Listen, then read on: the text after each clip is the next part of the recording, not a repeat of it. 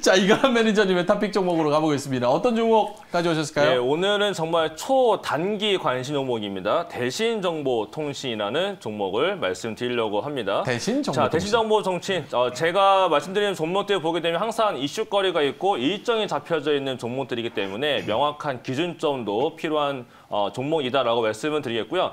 아, 이 종목은 이번 주에 끝내야 됩니다. 이번 주에 무조건 수익이든 손실이든 종료를 하셔야 되는 종목인데 왜 그러냐면 어, 이건 6월달 지방선거와도 관련이 있는 종목이 바로 이 대신정보통신입니다. 요것도 비슷한 게또 삼화 다른 3위 기업 통신, 어, 3위 기업이라는 것도 있는데 일단 대신정보통신 같은 경우에는 어, 인맥 테마로 엮여져 있는 부분이 되겠고요. 어, 제가 차트 보면서 요거는 조금 짧게 말씀을 드려보도록 하겠습니다. 자, 대신정보통신은 사실은 요 윤석열 당선인 이후로 많이 올라간 상태이기는 합니다.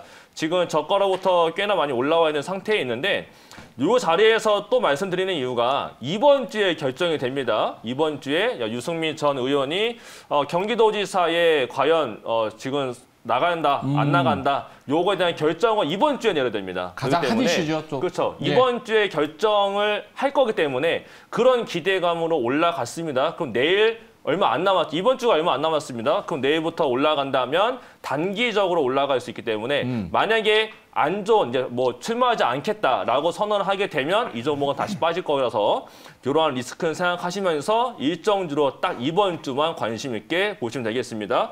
자, 그래서 많이 올라가기 때문에 예. 시- 어, 매수가는 1,950원 드리겠고요. 음. 그다음에 목표가는 2,190원, 손절가는 아래짜리 이탈되면 안 되니까 예. 1,800, 1,800원으로 손절가를 말씀 드리도록 하겠습니다. 알겠습니다. 테마성의 이슈가 있는 대신 정보통신 가격 전략을 드렸습니다.